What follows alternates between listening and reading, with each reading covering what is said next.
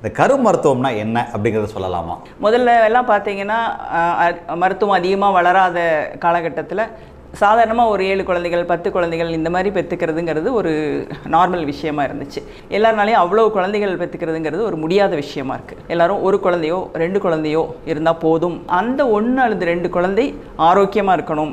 நல்ல ஒரு அறிவாக இருக்கணும் அப்படிங்கிற ஒரு தேவை அதிகமாகுது. ஸ்டில் பர்த் ரேட்டுன்னு சொல்கிறது அதாவது வயிற்றுக்குள்ளேயே குழந்தை இறந்து போகிற ரேட்டு இல்லைன்னா குழந்தை பிறந்த ஒரு இருபத்தெட்டு நாளைக்குள்ளே குழந்தை இறந்து போகிறதுங்கிறது இருக்குது நம்ம ஏதாவது பண்ணுனா காப்பாற்ற முடியுமா? இல்லை இந்த குழந்தை பிறந்தாலும் இது உயிரோட இருக்காதா? இல்லை உயிரோட இருந்தாலும் நிறைய மார்பிடிட்டிஸோட சரியான ஒரு மூளை வளர்ச்சி இல்லாமலோ அல்லது எழுந்திரிச்சு நடமாட முடியாமலோ இந்த மாதிரி ஏதாவது பிரச்சனைகளோடு இருக்குமா அப்படிங்கிறத நம்ம தீர்மானம் பண்ணுறோம்